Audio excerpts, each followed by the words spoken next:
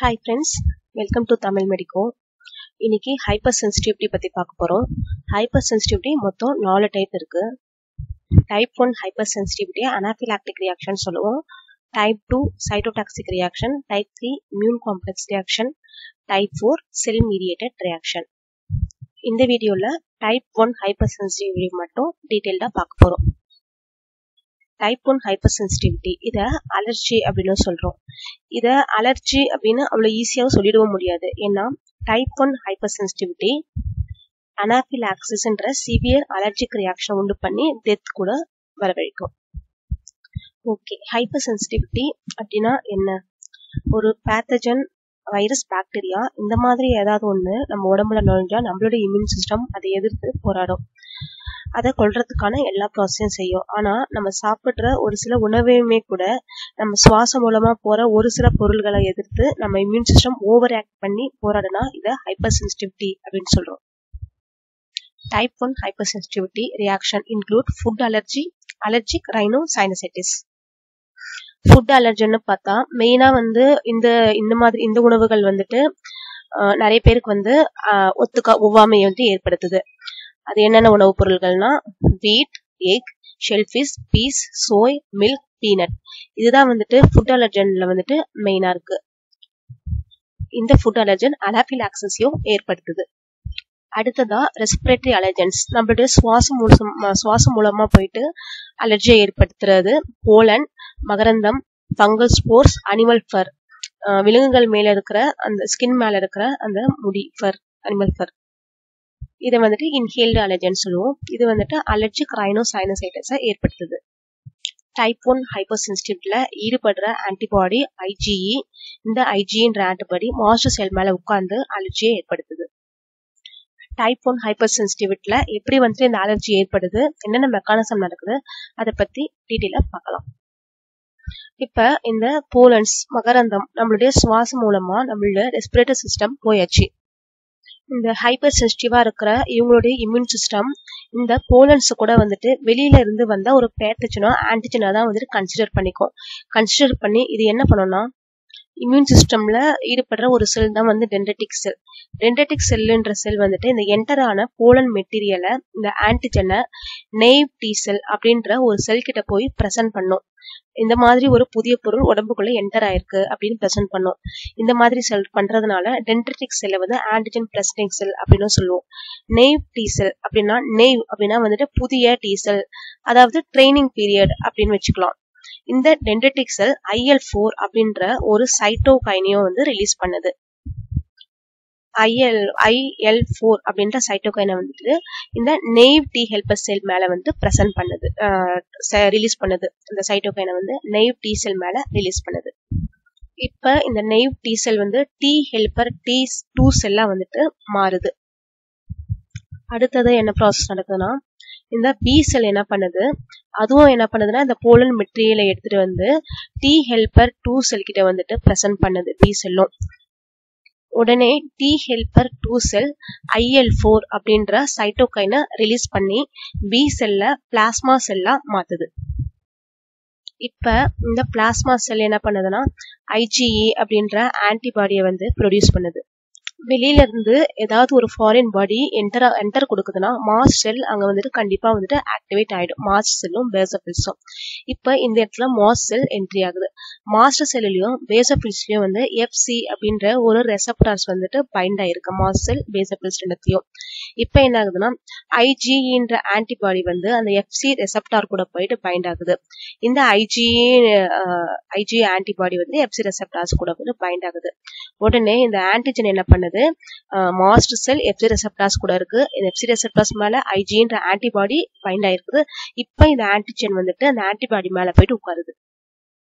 Antibody மேல antigen உட்கார்ந்துச்சு. உடனே வந்துட்டு அங்க டி கிரானுலேஷன் நடக்குது. டி கிரானுலேஷன்னா அந்த மாஸ்டர் செல்லில் இருக்கிற அந்த சைட்டோபிளாசம்குள்ள இருந்து சில சப்ஸ்டான்சஸ் எல்லாம் வெளிப்படும்.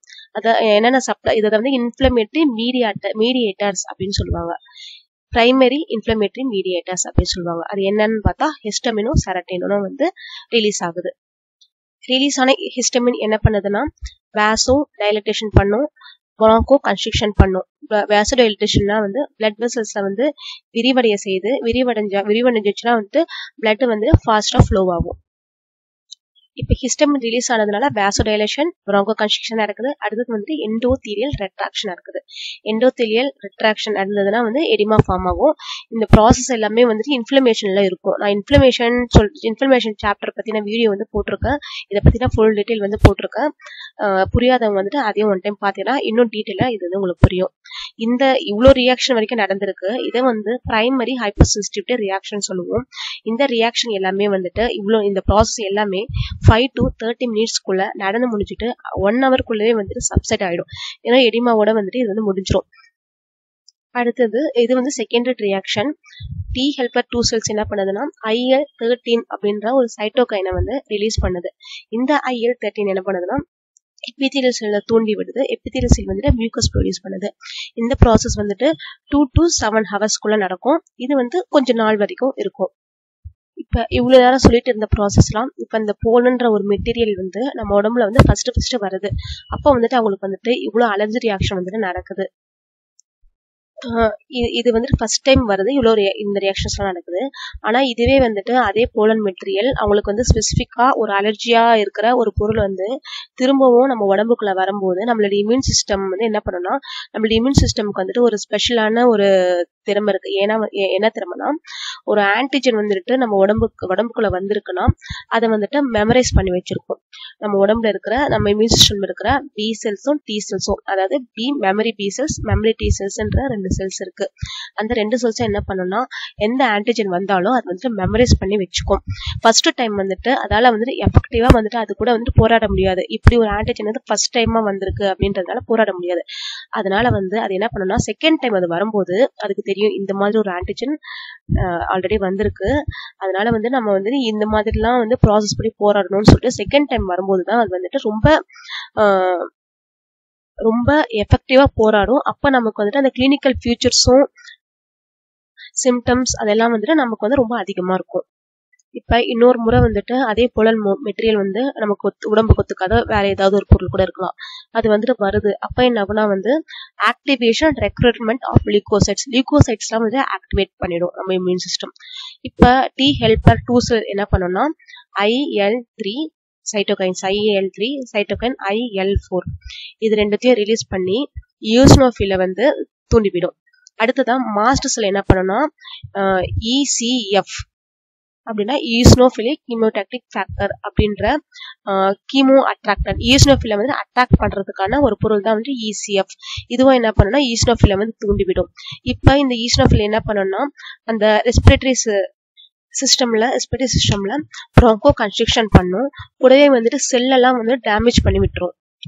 கூடவே வந்து அந்த ஆக்டிவேட் ஆன மாஸ்டர் செல்லில் வந்து இருக்கிற அந்த செல் மெம்பரேனை சுற்றி ஃபாஸ்போலிபிட்ஸ் தான் இருக்கும். செல் மெம்பரேன் எல்லாருடைய செல் மெம்பரேன்லையுமே வந்து ஃபாஸ்போலிபிட்ஸ் இருக்கும். இந்த ஃபாஸ்போலிபிட்ஸ்குள்ள இருந்து இருக்கிற அராக்கிடோனிக் ஆசிடை வந்து என்ன பண்ணோம்னா பிளேட்லெட் ஆக்டிவேட்டிங் ஃபேக்டராக வந்து மாத்திரும். அதுக்கு ஹெல்ப் பண்ணுறது இது அராக்கிடோனிக் ஆசிட்ல இருந்து பிளேட்லெட் ஆக்டிவேட்டிங் ஃபேக்டராக மாற்றுறதுக்கு ஹெல்ப் பண்ணுறது வந்து ஃபாஸ்போலிபிஸ் ஏ டூ இந்த இந்த ப்ராசஸ் இந்த இப்போ ஆக்டிவேட் ஆன ரிலீஸ் ஆன எல்லாமே இந்த பிளேட்லெட் ஆக்டிவேட்டிங் ஃபேக்டர் இது எல்லாமே என்ன பண்ணும்னா நம்மளுடைய செல்லை வந்து டேமேஜ் பண்ணி விட்டுரும். ஆக்டிவேட் ஆனால் அந்த மாஸ்டர் செல் என்ன பண்ணணும்னா பிளேட்லெட் ஆக்டிவேட்டிங் ஃபேக்டர் கூடவே வந்து இந்த ப்ராஸ்டாகிளானிஸ் லியூகோட்ரைன்ஸ் இது எல்லாமே கூட வந்து ரிலீஸ் பண்ணி விடுது. ப்ரொடியூஸ் பண்ணுது. ப்ரொடியூஸ் பண்ண அங்கே என்ன ஆகுதுன்னா நம்ம மூச்சு குழாய்க்குள்ள குழாயில் வந்து கன்ஸ்ட்ரக்ட் பண்ணி respiratory it leads to respiratory insufficiency in anaphylaxis anaphylaxis leads to death so இதுதான் type one anaphylactic reaction next வீடியோவில் டைப் டூ பார்ப்போம். தேங்க்யூ ஃபார் வாட்சிங்